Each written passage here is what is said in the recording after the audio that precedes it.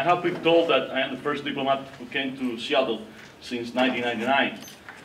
And it's a privilege to be here today. I always said that we are in the best moment in the last 50 years between Cuba and the United States. But we don't want to wait another 50 years.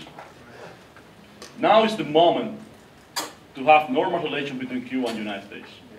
Unfortunately, we established the diplomatic relations, but we don't have normal relations yet. I'm going to try to explain why. Uh, as a Cuban diplomat, I'm, I'm not an expert in all the fields, you know? I am only the representative of my people. So please, be careful with your questions. be generous with me, because I, I love my country, but I don't have all the information, you know? In any case, I can say that I'm going to give you my email, and after that I can send you the, the answers by, by mail. No, well, let's start. I'm sorry for my English, probably I need to improve a little, but this is a good opportunity to practice. So, U.S.-Cuba relation, you can see there, you can see the Washington Memorial in Washington, D.C., and the Jose Marti Memorial in Havana. You can see how similar they are. And this is because we have a lot of history together, you know? Even, even uh, these last 50 years, we don't have relations and we have many problems. We have a lot of history. And we share that, that history. Why not? So let's start. I'm going to start with some opening questions. And the first one is, what do you know about Cuba? And I think this is very important. Every time I go and, and I ask to people, what do you know about Cuba, I have different answers. But the real issue is that the majority of people don't have enough information about Cuba. Sometimes people say, okay, you're famous because cigars, you're famous because you're round. I remember one student that told me, okay, I know I love Lucy. and I say, wow, you missed the last 50 years. that was a true answer, you know? And some people say, okay, Bay of Pig, the Cuban Missile Crisis, that was in the 60s what do you really know about Cuba? And sometimes we have a lot of misinformation. Sometimes what you read in the media is not what we believe is the real Cuba. And I always say Cuba is beyond the headlines. And if you don't believe me, go to Cuba. So, would you like to visit Cuba? You can raise your hand. How many of you? Oh, wonderful. That's a wonderful support. Thank you very much. Now we, we, we are going to have commercial flights, probably is going to help, you know. Do you consider that Cuba and the United States can have normal relations? That is another important question. And my question is, why not? What is the real excuse to not have normal relations between Cuba and the United States? Have you been in Cuba? How many of you? Okay, raise your hand. Excellent. Excellent. And this is for the, for the end, probably. Do you consider that Cuba received treatment in the media?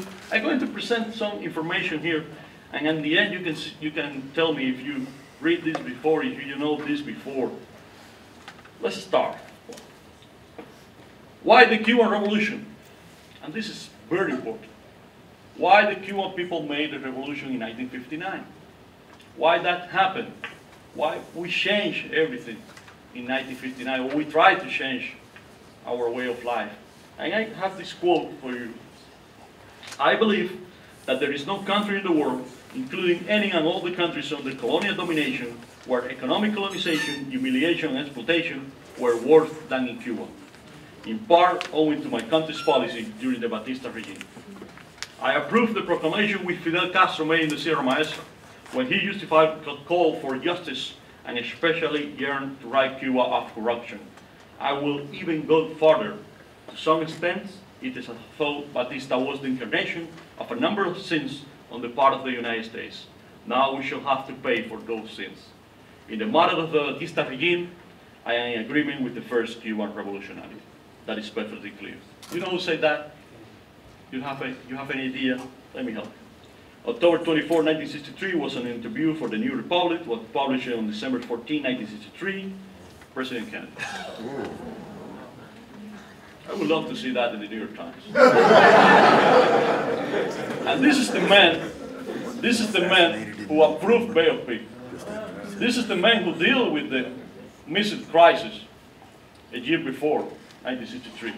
And I always like to say, like to think, that because of the experience in Bay of Pig, we avoid a nuclear disaster in the Cuban Missile Crisis.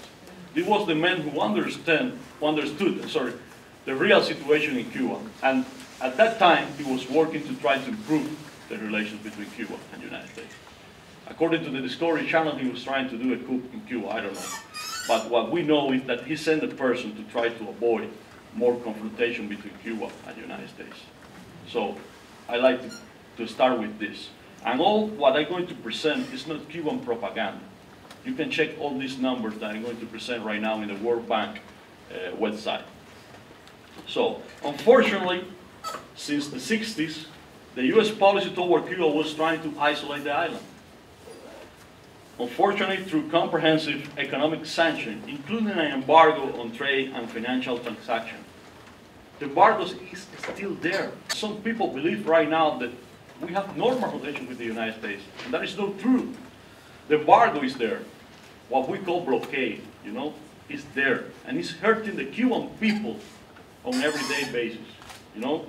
And, of course, United States President Eisenhower cut the relations with Cuba in 1961, January 3, 17 days before President Kennedy took office, 17 days, uh, days before, we had the Bay of Pig invasion, the Cuban Missile Crisis,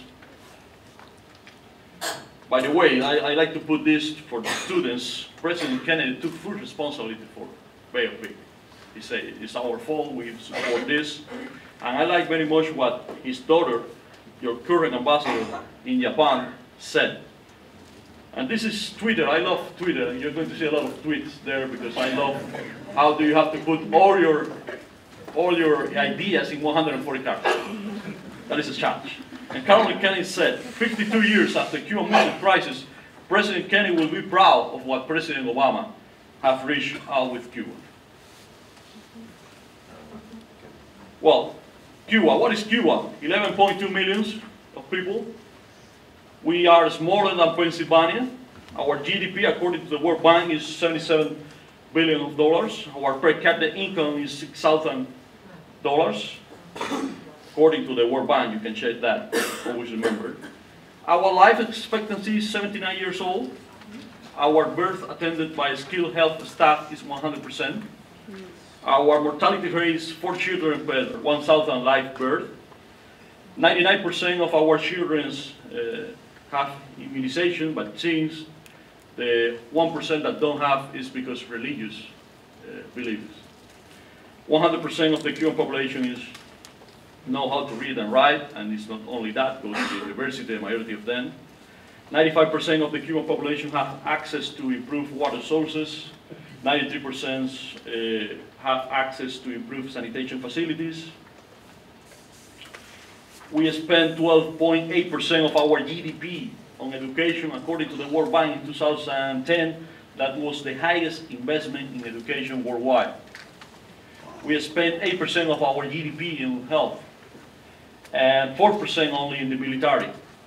And this last is not from the World Bank, this last sentence. To health and education was allocated 52% of the total expenditure of 2014 budget activity. According to the United Nations, we are number 44 in the Human Development Index 2014 out of 187 countries. And I, with all this, I always say, it's not fair to compare Cuba with the G7 countries. Put the GDPs of those countries and our, and our GDP, and you're going to see that it's not fair to compare. But even when you compare with these numbers, we are very, very many things to show, you know? But if you compare Cuba with the rest of Latin America, Africa, some countries in Asia, you're going to see what this means. And sometimes that is what people understand when they go to Cuba. Because they read a lot. But when they go there and see and compare, they know the truth. And they can understand what is Cuba. I love sports, sorry. And fun. So this is Cuban Olympics. Before the revolution, almost nothing. One man, Ramon Fonst, won, I believe, four of the five gold medals before the revolution. After the revolution, everybody talks about Cuban, uh, Cuban and sports. You know, you only need to see our ball players here in, in the Major Leagues. The only one players that have to defend from the country if they want to play here because they have to sign a document that say I'm not going back to Cuba. I'm not going to bring back money to Cuba. Why? Because they are Cubans. Mm-hmm. the only country in the world. So, something interesting. I found this in Twitter, in NASA, the other day, January 29. Happy birthday to Arnaldo Tamayo Mendez of Cuba, first Latin American and first person of African ancestry in space. We are proud of that, you know. And, and people say, okay, but you're talking about, you know, the 60s, uh, something that everybody knows. What, what now? What do you have to show now? Well, let me show you this. According to the World Health Organization, Cuba is the first country in the world to receive validation for eliminating mother-to-child transmission of HIV and syphilis. We received one award.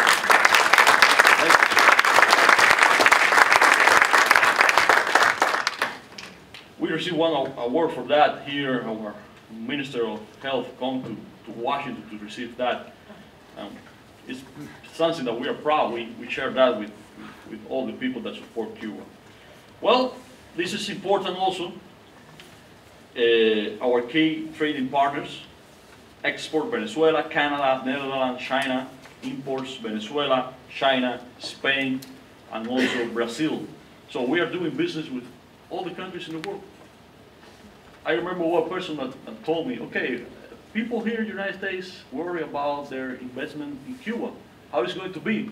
I say, to, to the Canadians. you have any question about that?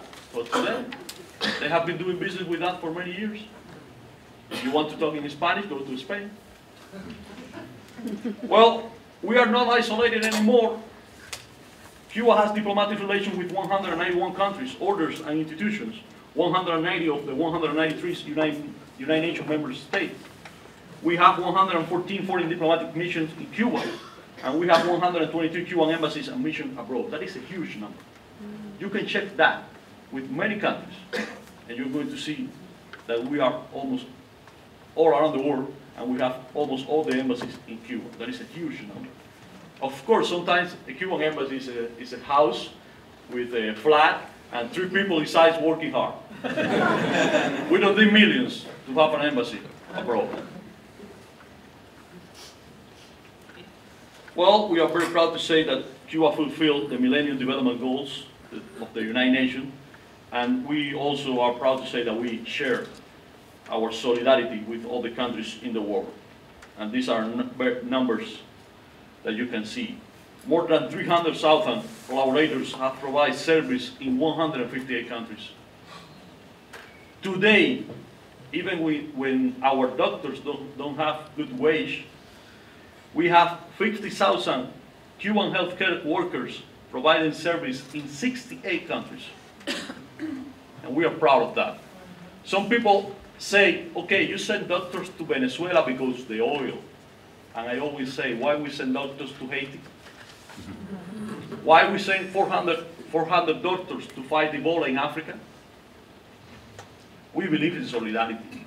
And what we have with Venezuela is solidarity. They have oil and they provide oil not only to Cuba, they provide oil to, to all the nations in the Caribbean and some other nations at a good price. And we have the doctors and we share doctors with, with them. And by the way, I want, I want to remember today President Hugo Chavez. Yeah. You know,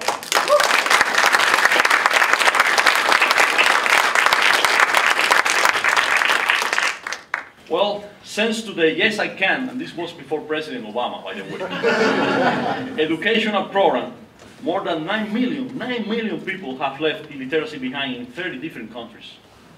More than 68,000 students from 157 countries have graduated in Cuba. Some of them are from the United States, as you can probably know.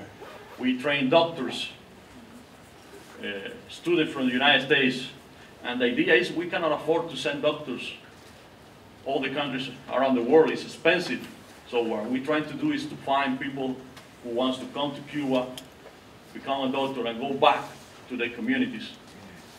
That is what, how, how we help. By the way, this was the New York Times in 2014. For the first time, we, we read something interesting. And he said, this is, a, this is an editorial. Cuban is impressive role on Ebola. Cuba has a long tradition of dispatching doctors and nurses to disaster areas abroad.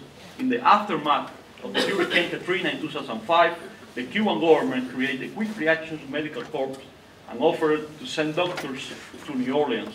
The United States didn't take Havana up on that offer. I remember, I don't know if you're aware of that, but that happened. That was a real uh, story. And we offered the doctors, and, and some people say, okay, this is politics. Unfortunately, after that, we offered 1,000 doctors to come to, to help New Orleans. And after that, we had, unfortunately, the earthquake in Pakistan. Pakistan asked for help, and we sent the 1,000 doctors to Pakistan. At that time, we didn't have diplomatic relations with Pakistan, but they asked for help, and we sent the doctors, and we are proud of that.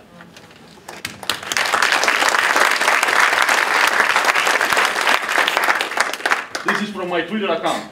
Last year, I put this because you were you commemorate the 10th anniversary of the Katrina, and I, I, I, I don't understand why you didn't know this. We offered the doctors, and this was what Fidel, our former president, said in September 19, 2005.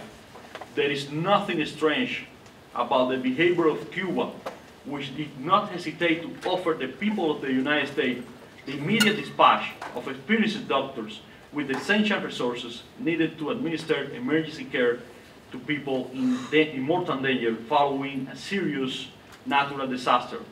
Also, our country was closest to the area hit by the hurricane and was in the position to send, to send over human and material aid in the, matter, in the matter of hours. We do the same on September 11, 2001. We offer our airspace, we offer our airport for you Probably you didn't hear that uh, before, but we offer our help. Well, the last year, let's go. Breaking news, December 17, 2014, President Obama and President Raul saying that is going to, they're going to start working to reestablish diplomatic relations. And I like to say, the world don't come to an end after that. Nothing bad happened. We are here. And you can see our national newspaper, Granma, we publish both a speech President Obama and President Raul in Spanish for all our people to read what they said. The real news was the return of the five to Cuba, as you can mm-hmm. see there.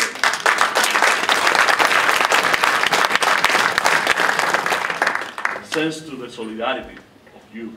Thank you. You have a question? Go ahead. Yes. Uh, what prompted or what gave the opportunity for President Raul Castro and President Obama to come together and actually have that initial conversation? Well, I think that one, one, we have to go back and, and even in the campaign, President Obama said that he was willing to, to speak to all these enemies, you know? And he received a lot of credit for that. But uh, after that, I believe that Uh, one person that was very important was the Pope. The Pope sent letters to both presidents and said, okay, if you're ready to talk, I want to help in this. And that was a very important person in this situation. And after that, what happened? Why December the 17th? And now I'm going to start something that some people don't like. But I have been told that you like the polls want to see what people say, what people believe. And I have a lot of polls that shows that the majority of Americans, that the majority of the Cuban Americans wants better relations with Cuba, wants to travel, wants to, to have business with Cuba. And these are the two first that I want to show you. Well, I have the first poll, is the Atlantic Council. 56% of Americans and more than 60% of Floridians and Latinos favor changing, changing U.S. policy toward Cuba. That was February 2014, so before, uh, months before December. And June 2014 said that uh, a majority of Cuban Americans in Miami-Dade County support normalizing relations with Cuba. We are talking about 68%.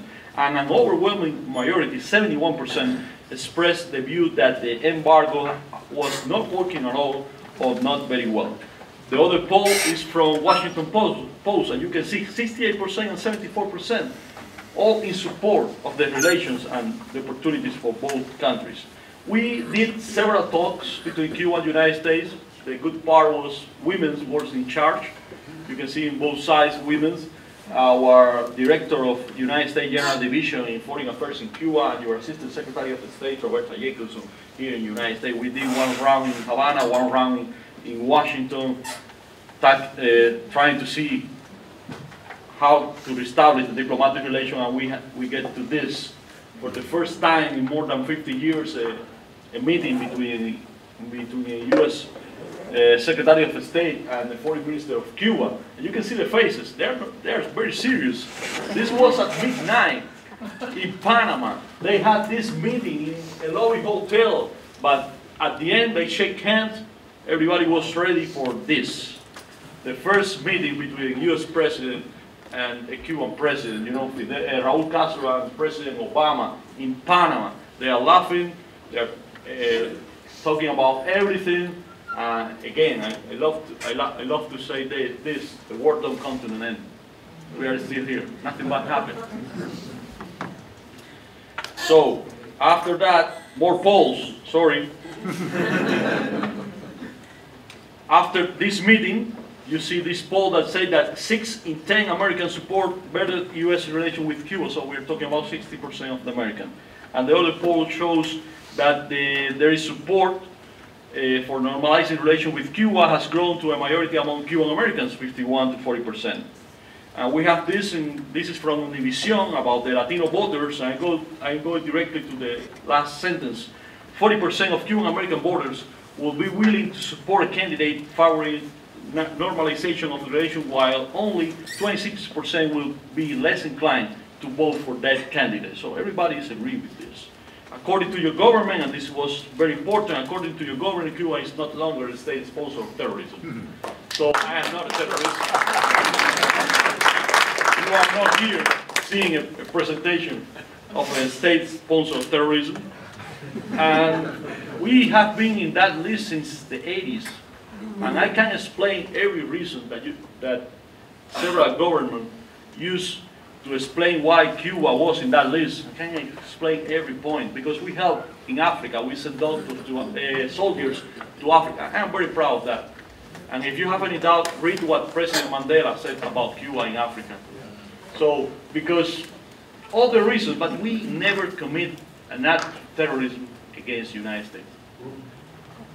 We never did nothing here against the United States. And I always like to say we are not a threat to the United States. Perhaps, uh, perhaps our example is a threat, but we are not a threat. And I'm going to show you this. And I'm going to show, to show you this because I can prove you that one state, one head of state, made an act of terrorism against the United States and never was in the list of the state sponsor of terrorism. This is what you can find in, in, that secret memo, and you can see the source there is American source. This is a secret memo about Pinochet, the Chilean dictator that committed an act of terrorism against the United States. He killed, he ordered to kill the foreign minister of uh, President Allende, and in that act, one U.S. citizen lost her life. And you can see the last sentence when Secretary of State Shultz wrote to President Reagan. Nevertheless, this is a blatant example of a chief of state direct involvement in an act of state terrorism, one that is particularly disturbing both because it occurred in our capital and since its government is generally considered to be friendly. Cuba, Cuba was in that list and never Pinochet was in that list. And I never saw, every time that I heard that Cuba is a dictatorship, I say, you have to ask to Chileans, to, to the people in Chile, what was Pinochet. You have to ask to the people in Nicaragua what was Somoza. You have to ask to the people of Cuba what was Batista. I, I was, I went to the, I went to the museum in Washington, D.C., you know, the museum about the news. And they have a database there, you can put the, the name of your country. And you, and I, I was surprised to see that the last journalist that was killed in Cuba was in 1958, under the Batista regime. They don't have nothing after that, uh, after that uh, moment. So this is just one example of what crazy what the U.S. policy toward Cuba. Well, uh, two important moments. We, op- we reopened our embassy in Washington, D.C., and you reopened your embassy in Havana. I like very much what Secretary of State John Kerry said uh, in his speech. Cuba's future is for Cubans to shape. That is the only thing that we want. We don't want nothing else. Uh, after that, sorry, another poll. This is, this say that Uh, 73%, 73% of Americans, including 50%, 56% of Republicans approve of renewed ties. 72% of Americans approve of ending the trade embargo. You can see how the numbers go up between January and July. You see? And every time, I always like to say that this is even when people don't have enough information about Cuba. Even with all the misinformation, you see very good numbers. Imagine if Americans can travel to Cuba and see the reality. And I'm sure that those numbers are going up very easy, you know? Another important moment, this is my ambassador. For the first time since, since uh, 1959, a Cuban ambassador present credential to a US president here in the United States. That was in the Oval Office, you know the place better than me. Uh, and you see President Obama with my ambassador, Jose Ramon Cabañas. We have another historic meeting between President Raul and President Obama. This was in the United Nations General Assembly, and I like very much what President Obama said in his speech. For 50 years, the United States pursued a Cuban policy that failed to improve the life of the Cuban people. We changed that. And somebody told me that was the only moment when President Obama received a round of applause in the United Nations General Assembly. I have to check that. I have to check that. But, but the real fact is that uh, we, we have the support of all, almost all the countries in the world for this relation between Cuba and the United States. Another poll, this is in Iowa, Indiana, Ohio, and Tennessee. This is the Atlantic Council. And you can see 68% support the ties with, with Cuba, and 70% believe that the blockade, embargo, the, the travel ban is the wrong track. I don't have the number from, from Washington, probably we need to do a poll here in, in Washington State, but I'm sure that we have support, and that is something that I want to, to say. Every, every place I go, I, I find that this is not only numbers, you know, it's real people that wants to travel to Cuba, that wants to go, and that wants to support the, the relations. What happened in the last year? Well, we, we received four members of, of your cabinet, Secretary of State, Secretary of, Secretary of Commerce, Secretary of Agriculture, Secretary of Transportation. By the way, the Secretary of Transportation was in Cuba two, almost two weeks ago. He signed the agreement to have uh, commercial flights between Cuba and the United States. And we also received four, four governors, the governor of New York, the governor of Arkansas, the governor of Texas, and also this year, the governor of Virginia. We received 28 members of the House and 17 senators from both parties. And already this year, we have seven members of the House that have been in Cuba. For that reason, I put plus seven. We are talking about everything. We are talking about environment, we are talking about law enforcement, we are talking about mail, claims, human rights, global health. I always say that uh, in global health, for the first time in Africa, we work together with uh, United States. United States provide the, and we provide the doctors uh, against Ebola. It was a good example that we, we can do if we work together. Uh, we are, we are right now, we have the opportunity right now to do the same in Haiti. In Haiti, you're going to provide the facilities, you're going to provide all resources, and we are going to provide the doctors. But we are talking, we are talking about also travel, commerce, internet and telecommunications, security of trade and travel flows, and of course the Colombia big stall because are in Cuba. We are hosting that uh, important event. Uh, this is my ambassador. Uh, this is part of his speech we, when we celebrate our National Day in Washington this year in January. And he said, in Cuba, we believe that bilateral relations with the United States will be normal only when we exercise full sovereignty on all our territory, when we are no longer under a sanction regime, and when no specific programs are funded to alter our way of life. So it's very clear what we need to have normal. And I'm going to explain that because some, some people don't understand what is the embargo. We are talking about the embargo, the blockade, the embargo, but what does that mean? I'm going to explain that according to your uh, State Department. This is a document that was uh, made in April 6, 1960. So before we said that we are socialists, you know. This is a memorandum to the Assistant Secretary of State for Inter-American Affairs. And this memorandum saying, the number, point number one, the majority of Cubans support Castro. The lowest estimate I have seen is 50%. 50% is very good. Okay? But they recognize that we have the support of the majority in 1960. There is not effective political opposition. Interesting. And why they say, well, we, we have to we have to alienate in internal support. And how how we are going to do that? Let's go to the last uh, two sentences. We need to deny money and supplies to Cuba to decrease monetary and real wage to bring about hunger, desperation, and overthrow of the government.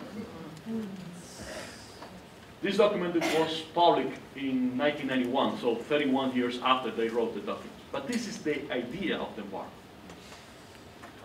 The embargo is an economic war that affects my people every day, our children, our, all our people.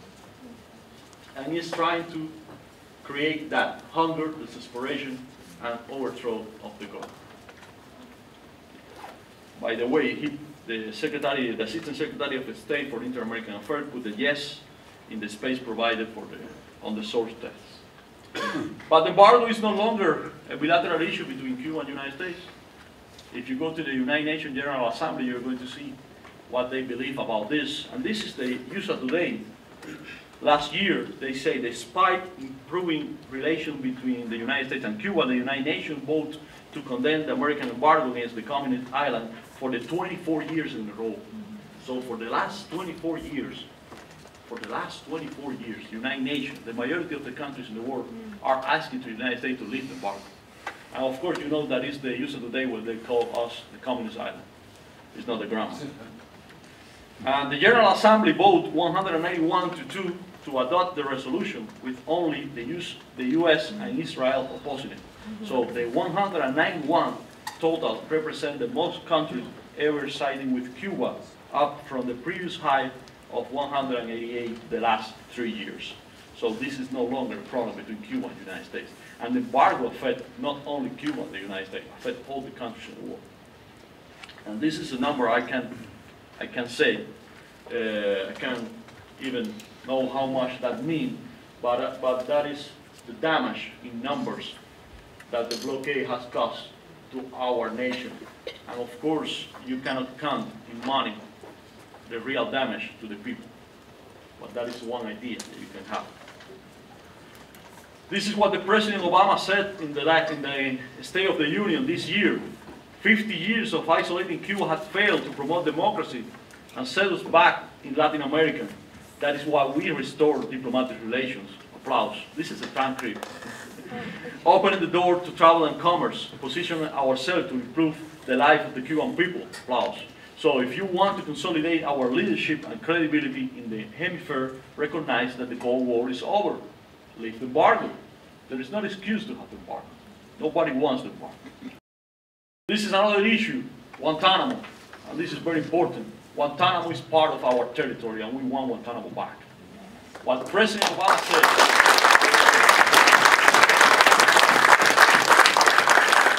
what President Obama said is he's going to close the prison. He never said that he's going to return the territory to Cuba. Mm-hmm. The U.S. has leased Guantanamo Bay from Cuba since 1903. The land belonged to Cuba, but the original agreement, known as the Platt Amendment, gives the United States complete jurisdiction and control over the base. Probably you don't know what the Platt Amendment means. But after the American and Spanish War, they took Cuba, they occupied Cuba, and the people who wrote the first Cuban Constitution have a meeting with the governor, a U.S. member of the, your army, and he say, if you approve the Constitution without the Platt Amendment, you're not going to have a republic. So the only opportunity for you is to approve the Constitution with the Platt Amendment. And that, that was the beginning of many problems, and one of that was the Guantanamo base. A subsequent agreement in 1934 gave the United States the use of Guantanamo in perpetuity. Mm-hmm. So people ask me, what, when is going to end that? Never. Now you can see how, how unfair is that tre- treaty that we signed. Unless the United States either, either unilaterally abandons the base or both the United States and Cuba agree to end the lease. By the way, we never collect the money that you pay for that base. Only one time it was a mistake. We never collect the check. Yes, true. You know how much you pay for the base? You have any idea how much you pay for the base? No, no, no. It's a little more. Four thousand eighty-five dollars per year. Probably you pay more in taxes. And this is not about the money, by the way. It's not about the money. We don't want any money. We want our territory back. Well, of course, this is uh, about the subversion and the stabilization, radio and TV broadcast. I don't know, I don't know if you are aware that from, from fiscal year 96 to fiscal year 2014, the Congress appropriated some 264 millions in funding for Cuban democracy efforts. So you, your money is going to support these people that is, they call themselves dissidents, are, are traveling around the world. Even here in the United States, they come to say, oh, I am repressed in Cuba, I have, I suffered the repression in Cuba. So this is the people that receive 200, well, all the money now goes to Cuba. Let's be clear. And for that reason, some people here don't want to have better relation with Cuba because this is a business, you know? Every year you have 20 million to spend in Cuban democracy force. You don't send that money to help our education system. You don't send that money to help our healthcare system, to build houses in Cuba. No, no, it's to create opposition in Cuba. You know? And I like to say always that Cuba is the decision of the majority of the Cuban people. It's going to be that. And this is something that probably you don't hear about. This is a bill in Congress. It's HR 570, a Stop Wasting Taxpayer Money on Cuban Broadcasting Act. This said that you have right now, what probably you don't know, is TV Martí, Radio Martí, and Martí Noticias, a website, and that has cost to you 700 millions in the last 30 years. Imagine that Cuba create a TV, a TV channel, and we put Washington TV, and we broadcast Cuban propaganda to the United States. Is what you do against Cuba with TV Martí. You use the name of our national hero, and you spend more than 700 millions in this. And the last year, this cost to you 27 million of dollars. And you can ask the Cuban people, they don't hear Radio Martí, they don't see uh, TV Martí, so you're losing money. Well, Congress, and Congress is very important because, again, the real issue right now is what is going to happen in the next administration. What is going to happen after November. We need Congress to change some laws that are the main obstacles right now to have normal relations. And this is, for example, the best bill, the best bill that we have right now. S299, freedom to travel to Cuba. The sponsor is the Senator Jeff Flake, and we have 46 co-sponsors, so we are talking about the 47% of the Senate.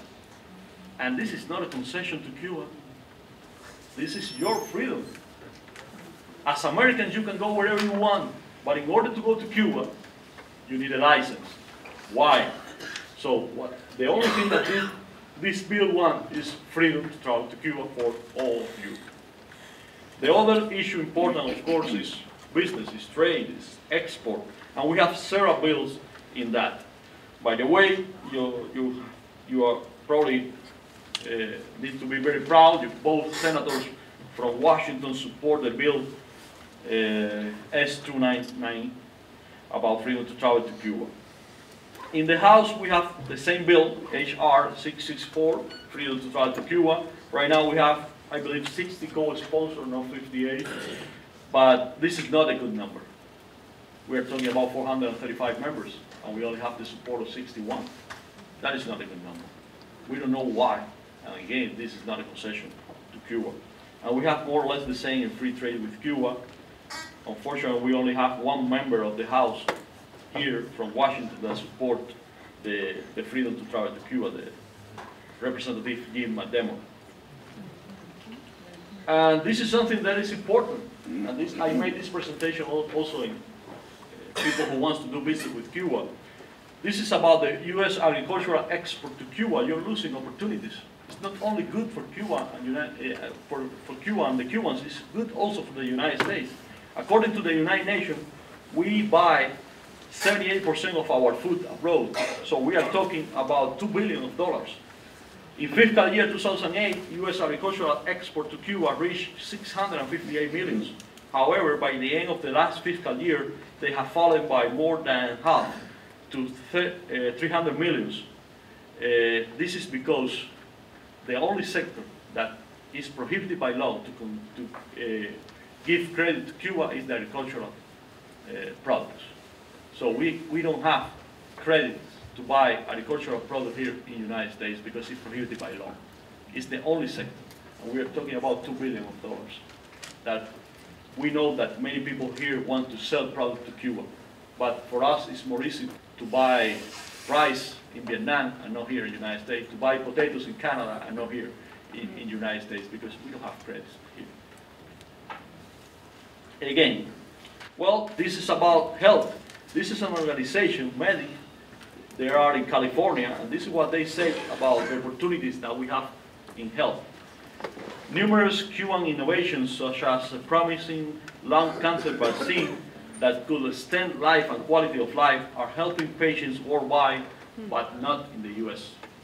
70 75,000 uh, of the 20 million diabetes in the U.S. will require amputation from diabetic foot ulcers. International uh, scientific article shows that the Cuban medication unavailable in the U.S. reduced the risk of diabetic foot amputation by over 70% in countries where it is accessible. The situation with this is very simple. Now, some companies have the license to do trials for our product, but no company wants to do trials that cost millions of dollars if they don't are allowed to sell the product. This is the real situation.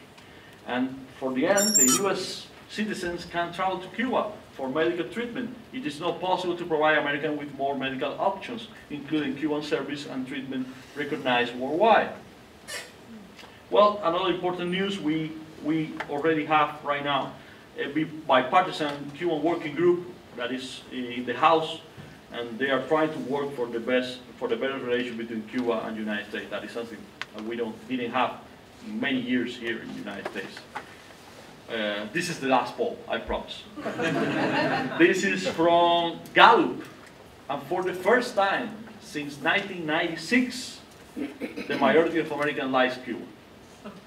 54%. And again, this is a number in the middle of the situation that we have right here, that right here, that people don't know about Cuba. But even in, under those circumstances, we have 54% that say, I like Cuba. Why we don't have a normal relation with Cuba? Well, the big news, President Obama announced on, the, on February 18 in his Twitter account, next month I will travel to Cuba to advance our progress and efforts that can improve the life of the Cuban people. The last and only U.S. president that visited Cuba was in 1928. I, I believe that nobody here is from that year. okay. And this was the official response of Cuba, our director of the U.S. Uh, General Division in Foreign Affairs. She said, President of the United States will be treated with all respect and consideration during his visit to Cuba. So this. This is something that is important. This is what the president can do and what the president cannot do. And I'm going to, to, to be, I want to try your attention to what the president cannot do and what, why we need Congress to change that. And for example, one of the things that the president cannot do is that you are not allowed to go to Cuba as a tourist. As a tourist. You cannot go there for, for, for tourism because it's prohibited by law. And we cannot have credit in the agricultural product. And again, the problem is what is going to happen. Because if President Obama even change all the things that he can do, that can be undone in January with the next administration. For that reason, we, we need a real change. Well, final questions. Uh, the same question. I, I hope you, right now you have this more information about Cuba. I hope now you have more reason to go to Cuba. I hope now, now you have more reason to support that Cuba and the United States can have normal relations. I cannot change the number four, four right now, but probably in the future. And now you have more reason to, to understand if we receive fair treatment in the, in the media. This is a commercial. If you want more information about Cuba, please, please follow these Twitter accounts and this uh, web, uh, this Facebook page that we have. Those are our official, and we try to explain to everybody what is happening between Cuba and the United States, what are the real uh, opportunities that we, we have. You don't have to donate any money, don't worry. Uh, and this is what you ask. Pope Francis was very important in the approach between Cuba and the United States. And I like very much what he said in Congress when he came to the United States after visiting Cuba. This is the golden rule. Do unto others as you will have them do unto you. And this is a principle. And for the end, change is the law of life. And those who look only to the past or present are certain to miss the future. If our dream of yesterday are today's realities, our dream of today will be tomorrow's realities and thus be the same for all people of the world if we are able to dream of a better future together. President Kennedy and President Castro. I always said, for the end, for those who wants to cut the relations, they belong to the past and they are going to miss the future. For those who wants to build a better future together, we can start today. Thank you very much and sorry for all the time. The situation in Latin America is changing. But uh, I like to think that all, also the conscience in people is changing.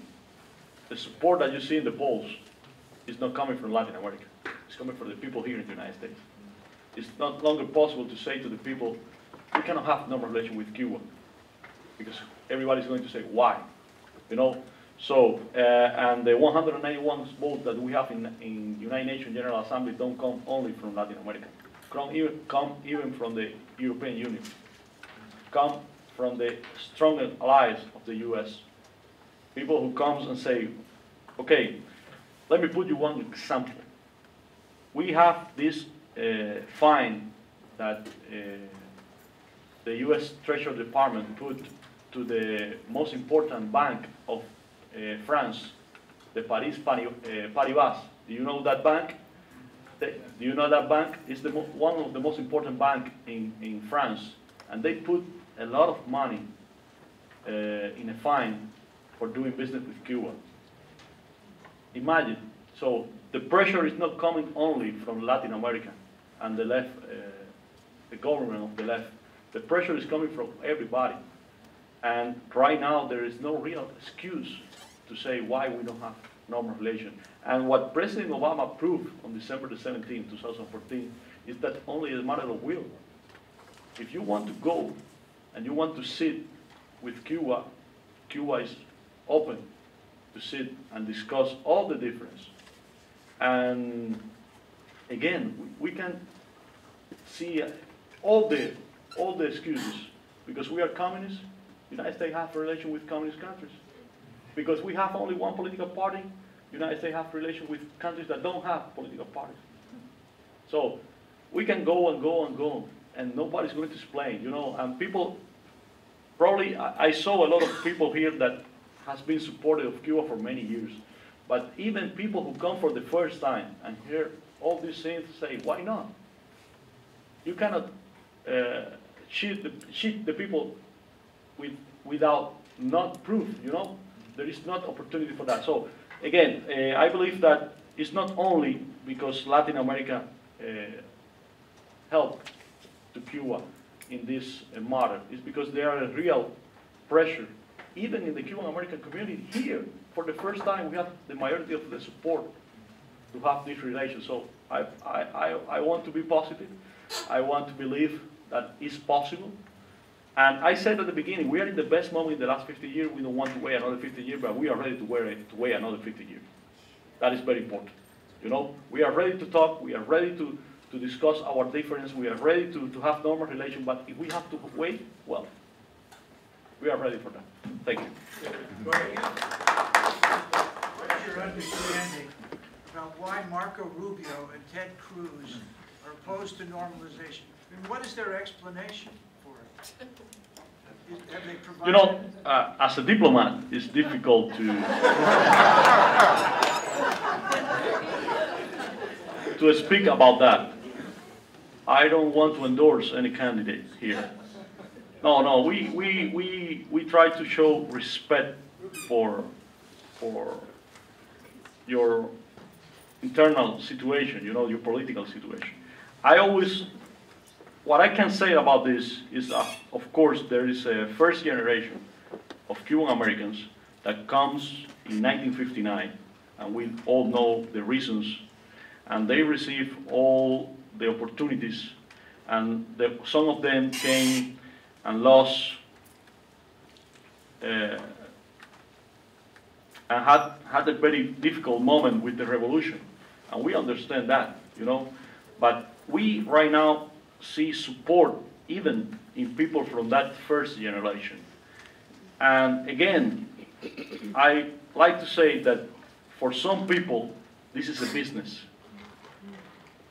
They, we are talking about 20 million of dollars every year.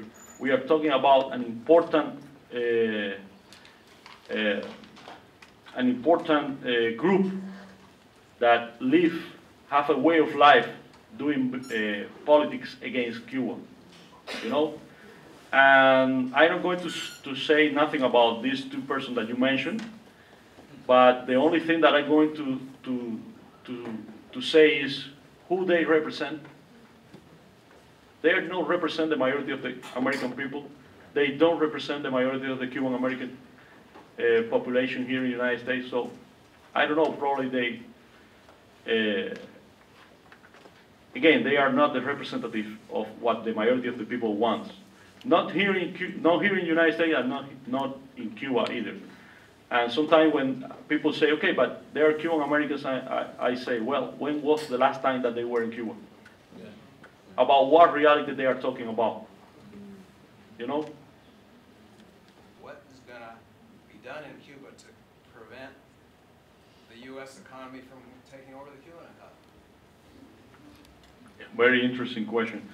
Uh, what I can say about that is that our goal is to put an end to the embargo. If we can end the embargo, that is going to improve the, the life of the Cuban people. And of course, we have challenges to deal, and one of them probably is uh, people from the United States traveling to Cuba. We receive 3 million of tourists every year, 1 million come from Canada. Uh, somebody told me the other day that probably if the travel ban is lifted, we are going to have uh, 5 million of US tourists in Cuba in one year. I can tell you that, in my personal opinion, we don't have the infrastructure to deal with that. Probably that is a good opportunity for the business industry, you know, to do business in Cuba, to build hotels, to have people. But another people ask me, okay, you are going to have uh, big buildings, American corporations in Cuba, you are going to have McDonald's, you are going to. I don't, I, I don't have the ability to predict the future, you know, probably. Uh, but what I can say is that we want to protect what we have. We want to protect a society without, without uh, too much difference, you know. We want to protect the, soc- the society that we have with, with, with equal opportunities for everybody. for that reason, we are giving more opportunities for the private sector, but, we are not going to privatize education, we are not going to privatize health uh, care, our healthcare system. So we have to deal with all these challenge. And in the, in, what we try, we are trying to do is to approve or to give a space to those businesses that don't, that are good for the majority of the Cuban people. And again, uh, probably it's new for us to deal with the United States, but, not, but it's not new for us to have business with the world. You know, somebody asked me the other day, "Are you going to change your culture because of the invasion of the Americans?" And I say, "Well, you know, we see your movies, we see your TV series, uh, we know your culture, you know, and we are still since the since the Guantanamera, and we still use our guayaberas." So we are not going to change. I don't believe that we are going to change uh, and lose everything that we, we have right now. And this is something important. We are changing many things in Cuba. We want more things, but we don't want to lose what we have. You know, we are very proud of many things in Cuba, and we are not going to change that. And that is something important. So uh, I don't know how, how difficult is going to be this process. I cannot say it's going to be easy, that we are ready, that we are, no, no, no, no. What I, what I try to explain is that we are trying to, to first put an end to the embargo, to the embargo, because the embargo is hurting our people. And it's, it's cruel to live with the embargo. The seventy percent of our population only know to live under the embargo, and we want to put an end to, to that. After that, we have cha- challenges to, to deal with, but I believe that we, we are going to do our best to protect, to protect our, uh, our people. And it's going to be what the majority of the people wants. You know, this space that we gave to the private sector is not a dream of the Cuban government. is what the majority of the people wants. They say, why we, we, we cannot have a restaurant, why we cannot have uh, private, small private uh, business, okay. And for that reason, we open those uh, opportunities. So I, I, I think that is a challenge, but uh, we have to, to, to work with that. Thank you for the question. Yes. How you doing? So, first of all, as someone who actually fought in Angola in 1985 on the side of Jonas Savimbi, I want to give my personal apology. First. Secondly, with, to take off from, from what was said earlier, the privatization in, in Cuba is taking place and has taken place since 2011, right? Over 20% of the Cuban workforce has been laid off and over a million jobs have been lost in Cuba due to privatization. Now that the Americans are coming in, my fear for Cuba is a semi-reversion back to pre-revolutionary day, when the casinos were there and the mafioso was there, right? I don't think that's gonna happen, but I do believe that the corporate barons are gonna come in, like you said earlier, McDonald's, Burger King, uh, Marriott, Hyatt. So the numbers are beautiful, but hidden within those numbers are a Republican drive for more capitalism within Cuba. So if we lift the embargo, do you fear that privatization, along with the Republican push for more capitalism in Cuba, is actually going to make Cuba a less socialist society and more of a quasi-socialist society? You this is a very good question also, uh, but we need to try to understand the real situation in Cuba. Uh, we don't have Marriott in Cuba, we don't have Hilton in Cuba, but, we have Meliá hotels from Spain since the 90s. Since the 90s, we had that, that chain in, in Cuba. Probably we don't have many of the Americans. Uh, most famous brand in Cuba, but we open our society more in the 90s, and this, and this is important because remember that in 1959, Cuba needs to change everything because everything was made in USA. And in 1991, we have to change everything again because everything was made in the Soviet Union. So we try to not commit the same mistakes that we made in the past. And for that reason, when we open our society more to the the so-called free trade and the so-called business opportunities, we try to not uh, create uh, more difference among our people. And, we, and this open, this first uh, moment when we opened our economy was in the 90s. And the numbers that I show are right now. So after all that uh, open moment, we still have very good numbers in social issues that we are proud of that. That is part of the Cuban culture, you know, for that reason. And when you say that we lost one million job, that is probably, if you heard that, you say, okay, one million people in the streets. That is not Cuba now. We have, we, we only need to, and, and the idea behind all this is to improve our economic model. We cannot dream and we cannot have a better society if we don't have ec- an economy supporting that dreams. You know, it's impossible to say, and this is something that everybody asks me, what about internet?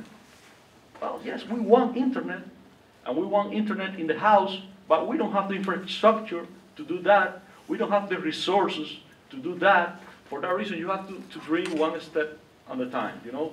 Right now, it's possible, and, and, and again, uh, for example, I'm going to put another example, sports. We are losing athletes every day.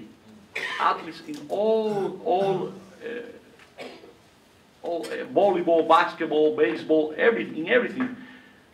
They, we are losing people, and sometimes it's because we don't have the same, the same resource to send one team to play here, or to play in Dominican Republic, or to play if we need that money for our education uh, system. So what, what we're trying to do is to deal with, with the priorities, to deal with the challenge, and the main idea is to keep the society with equal opportunities for everybody, not to create more difference. For that reason, we don't have internet right now in some houses, because we cannot have internet in all the houses. Because I can tell you that right now in Cuba, there is people that can pay for internet in their house, but we don't want to create more difference. We opened, for the first time, we opened it more than, I, I don't, I don't have the, the exact number, but we opened uh, Wi-Fi, Wi-Fi, Wi-Fi, Wi-Fi, sorry. Uh, Wi-Fi spot in every province in Cuba. And you can go with your smartphone, it's expensive, it's expensive, but I can tell you that many people put money on that, trying to, to see what is happening in the world, you know, trying to connect with, with, with people. And again, there is not one million of people that is not working in Cuba. No, no, no. Those people goes to the private sector, and some of those people have another kind of job because it's impossible for a country with, with limited resources uh, to, to have an economy not efficient, efficient, you know, and that is the challenge. If we want to survive and if we want to improve the quality of life, we need a better economy. To do that, we need to see what are the priorities and we need to focus on, on, on that. Well, you have a, you have an engineer here who specializes in communications and ERP Thank you very much. We need that probably, we need that probably. Um, I had the pleasure to go to Cuba in the late nineties, and I was really, it was a life-changing experience, I have to say. And I was really struck by the spirit of the people and also the, um, the gains that the revolution had made with the rights to health care and education and housing, um, child care centers that had ratios of like one teacher to maybe three students. Um, and I talked to a lot of working women at that time, and they said that the, they didn't face the same level of sexism that was in the US because of the economic, um, equality between people. So I get, the question I have is something similar to what's been coming up is how can Cuba go forward and maintain the brilliant gains of the revolution that were hard fought and defended under unsurmountable um, attacks from the US and others at this time? And I guess I've also heard that in the public sector, there's some of the jobs that are paying the equivalent of maybe twenty dollars a month, where private sector might pay five hundred or a thousand a month. And that creates a, a, a, well, I think a chasm in society. I know, I've worked for hotels, and I know the whiter your skin, the more you make, and the front, you work in the front of the house. So how are you going to, how are you gonna deal with those contradictions when you're, um, in, inviting capital in? I guess that's my question. How do you maintain the revolutionary gains in this period of time? Well, I, I can, I know that this is a main concern of people who, who love Cuba, who, who people who, who don't want that Cuba change. But I, the only, the only answer that I have is how we can survive. How we, how we, how the Cuban people survived these fifty years of blockade, and we didn't surrender. We didn't change. You know, you, you have to, you- what I, what I ask is trust in the Cuban people, you know, trust in, in us, because we, we never changed, we never abandoned our ideas in all these 50 years, even when the special period was so hard and put people without uh, transportation, without enough food, without uh, many, people who knows what, what I'm talking about can understand what, what, what is my idea. The, every time that I heard that people live in Cuba with 20, 20, 20 dollars per month, I believe, I, I, the first thing that comes to my mind is, you don't see in Cuba nobody be, be below the line of poverty. You don't see starvation in Cuba. You don't see uh, extreme poverty in Cuba. So this twenty dollars for you is not twenty dollars for us. You know, uh, because everything. How can you survive with twenty dollars? And eighty percent of our people is the owner of our or their homes, and and we have many things to show every year. And and the main concern of people is twenty dollars uh, per month. I can say to you, and this is I, I was born in 1979, so I lived the 80s. In the 80s, doctors was the doctors were were, the the people who received the, the better wages in Cuba, 400, 400 pesos. And the most expensive hotel room in Havana was 20 pesos per night. 20 pesos per night. The most expensive uh, hotel room in Havana, Havana Libre, Hotel Nacional, National Hotel. And the person who cleaned the floor has a wage of 100 pesos. So even that person who cleaned the floor in the 80s could pay one night in the most expensive hotel in Havana. But that was in the 80s when our economy has the support of the Soviet Union and everything that you know. Right now, that is not possible. But by the way, we, we, uh, we give to the doctors a better wage right now, and I still are the person who, who make more money in Cuba, the doctor.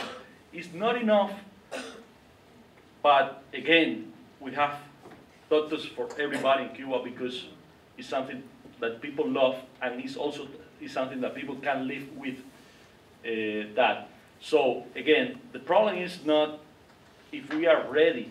The problem is that we are trying to deal with all the challenge that we have, but we don't want to abandon the ideas that the majority of the people support in Cuba. The revolution is not Fidel, is not Raúl, is not a couple of people there. The revolution is what the majority of the people wants. The day that they don't see that in the government, I can assure you that that is going to change. So, You we have time for two more, this, this man here and this sister up here. Uh, Last two, and then we're gonna have to break. And if you buy him lunch, you might get more lunch. So isn't it a fact that? No, no, no, not you. I'm sorry, not you. Oh, okay. I'm sorry. Secretary, um, my question is, is there anything that can be learned from the China opening as of layer into your space? I'd like to say particularly the idea of reification. Reification being a, a a construct of, you take idea and turn it into thing, and then thing become a mass commodity, right? And so we look at China, we say, when China opened in seventy-two, um, the, the, the economic expression was not very, how should I say, large. But today, if we see China, it's now just a consumption space. Having been to China several times, I would say to you that uh, kind of difficult to walk to Beijing and Shanghai.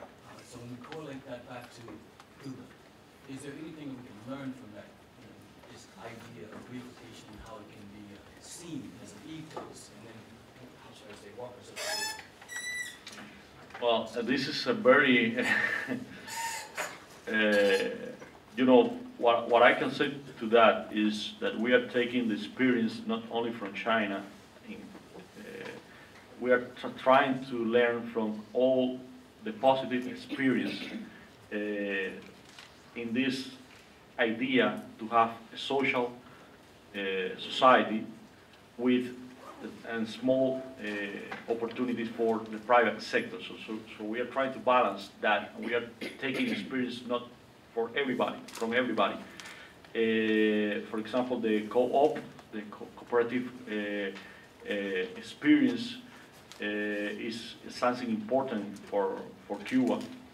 And we don't want to, to make the same mistakes that other uh, commit. Uh, What I know right now is that the main, uh, the main idea in, in this is to improve the economy.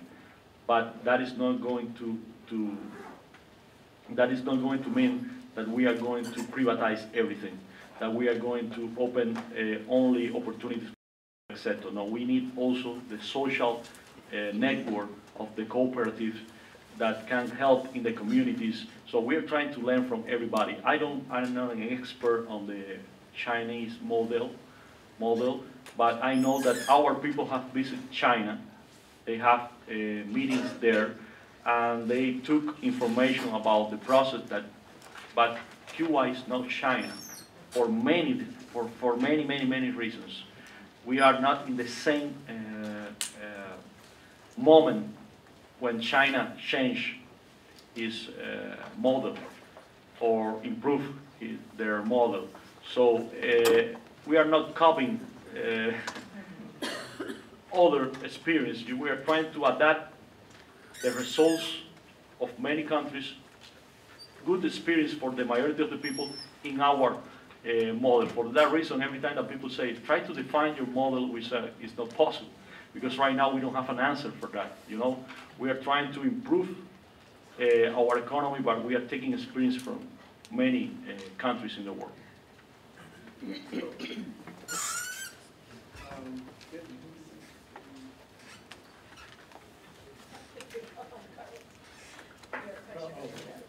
Yes, uh, uh, Secretary Fraga. First of all, welcome.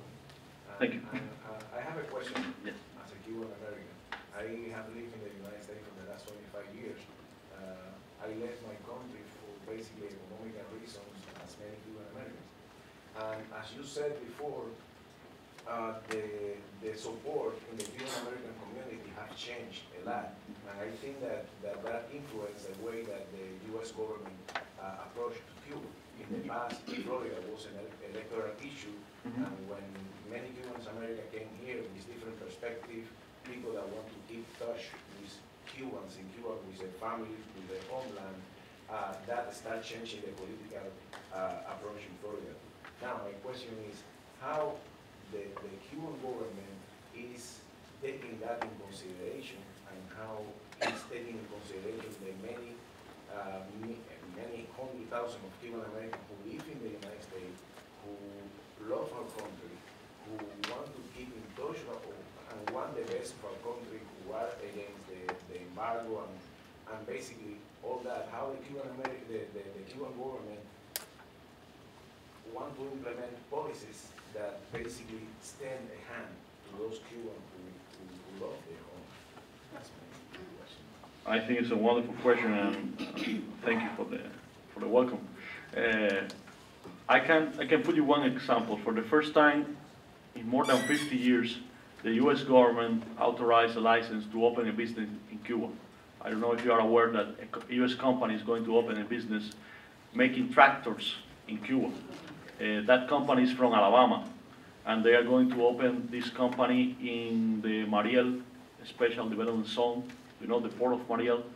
And this company is going to make tractors for the Cuban farmers. So you see, it's good for everybody. uh, small tractors, nothing very specific. And one of the, uh, that company has two owners. One of them is Cuban American. So the idea is we are open, and of course we, we, we know that very important. It's something that is primary to have uh, the best relation with our community here. And we are open to work with all the people who wants to work with, with us. As uh, I always said, even when I saw a, a children of the Cuban, I said, you have the Cuban blood, you know? Even when you have born here in the United States, you have Cuban blood. And every time that Cuban goes to our embassy, I say, welcome to your embassy. Because for many years, people use that to divide the community and, and, and, Cuba. And at the end, the people who paid the price was Cuba and the, the Cuban American community.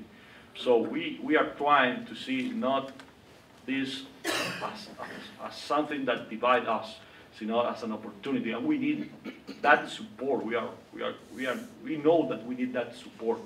And the idea is, even when probably you have different ideas about Cuba, if you are against the embargo, we are ready to talk. If you support the embargo, if you are the person who, who don't care about the Cuban people, uh, it's not a matter of you're a Cuban or you're an American or you're whatever. We are not, not going to talk with you. We are not going to open our door for you. But for the Cuban community, what we say is we, are, we, we have to work together for a better Cuba, you know? And, and I put this example of Alabama because I think it's something symbolic, symbolic, that we have our first company, U.S. company in Cuba with a license, and one of the owners is a Cuban American. So it's something that I believe that more Cuban Americans need to follow you know, about this. And the first thing that I always say is, unfortunately, uh, or I don't want to say unfortunately, but the, the real issue is that you are not going to see Cubans asking for the immigration reform here. here. Cubans don't need an immigration reform because all the Cubans that comes goes to the Cuban Adjustment Act. They say we are political refugees, and they have all the benefits. Even when, as you say, the majority of the Cubans that come here are not political refugees, are people who want to improve their economic uh, life, and that is perfectly clear. But what we need is that that support is clear support. You know, that people knows this bill that can help to improve the relations, and that people goes and say, okay, don't, don't use me as, uh, you know, because Florida was used for many times, and they say, if you don't support uh, uh the policies against Cuba, you're going to lose the Florida because the Cuban American wants to overthrow the Cuban government. And that was used for many years. And, and the real issue was that Cubans here don't become citizens, don't vote, and they don't care. And only the first generation who had the power tried to, to, to keep that in his best own interest, you know? And if, again, we need to change that for the best of Cuba. And, and we are ready for, for, for more engagement with the Cuban community. And, and I am very happy to see not only you, to see more, more Cuban. I, I went to, to, to Connecticut and I saw Cuban Americans there. I went to, to Alabama and saw Cuban Americans there. And nobody was in the, you know, a meeting, in rally against me. No, everybody was saying, yeah. I, I remember one time, one, one person asked me, are you coming with security? I said, well, only my wife. Only my wife, because in the past, you know, the, the, the situation was very different. The situation was very different. But right now, no, we, we know and we and we, we only need to say thank you for that support. But we believe that it's not only a matter of say sense. We need to say what what what else we can do. We need more. We need to work together. And in our will is to deal to, to have to engage more with all the people who wants to work for the better of the Cuban people. It's only what we want. Thank you very much for, for coming.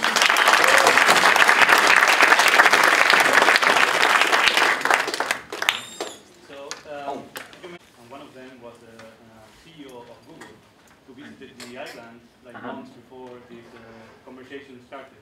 Mm -hmm. So, what we know now of the um, I don't know, the cooperation of these companies with the NSA, thanks to uh, the Snowden scandal, and knowing that uh, the United States has been uh, actively spying on other um, governments, like Brazil, for example, or Germany. My question, I have two questions here. The first one is like, do you, are you planning to restrict, you know, the access to internet given these circumstances, given- given these new threats? And the second one is, are you planning to build your own tools so you don't have this dependency on, you know, the tools of these corporations are providing, like Google, for example. Uh, I'm from Spain, and like I think 98% of, of people in Spain use Google, Apple, Microsoft, and stuff. So, for example, in China, they have their own um, their own search engine. Uh, so, I'm curious about the. Well, Is that Well, I have to say, thank, thanks for your questions, are very good questions. Uh, I will need you, uh, probably if you uh, was, a- I'm sorry, the other day in the Washington University, a Cuban was there, and he asked me, why did you don't accept the help of Google? Because Google offer free internet for all the Cubans, and we are still thinking about that. We don't say, okay, welcome, just come. You know, and that Cuban asked me, why not? And I said, well, I don't have all the details, but we know that we, we need to be careful with all the, the ideas. And this is another example. We received this offer, this direct offer from Google to have internet for all the Cubans. And we say, well, let's see this with, with all the patience that we need to not make mistakes. That is something that is a, a proof that uh, we are not going to open the island now to, to change everything. That we are trying to be careful in all the, all these uh, things. So, um, it's not, it's not only Google, you know, all, all the major companies wants to do business in Cuba. I, I, I read the other day that even Bacardi wants to open uh, again in Cuba when things are normalized. So, uh, again, we are ready to, to see all the, the opportunities that we have, but we are going only to engage with those that are good opportunities for the majority of the Cuban people, that not represent a danger, a threat to, to what we have right now. Uh, and this is the, the idea that, and in technology, we want, we have this university of the informatic science that we create several years ago to have our own, own uh, personnel ready to deal with this. But it's difficult because uh, not, not everything is about will. Sometimes you need resources, sometimes you need real uh, information, and we, we are not in that, in this case. Uh, in Cuba, we don't have enough uh, opportunities for that. And probably we can see what are, what are the opportunities to interchange in this with your universities, with, you- with, with, with uh, and other providers, not only Google. But the, the idea is the same, you know, try to, to, to open our country for the good of our people. It's only that. So we're finished for now? Lunch break. Thank you.